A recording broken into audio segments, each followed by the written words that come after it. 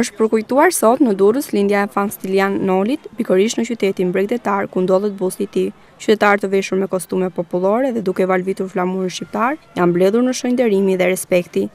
Marsit kanë qëndruar për disa çaste pranë bustit të tij, duke kryer ritualin e nderimit të fan Stilian Nolit, që cilësohet si një nga figurat më të ndritura të kombit shqiptar, burr shteti, atletar, demokrat, klerik i lartë, poet, përkthyes, publicist, dietar e historian, Noli lindi më 6 janar 1882 dhe vdiq në 13 mars 1965.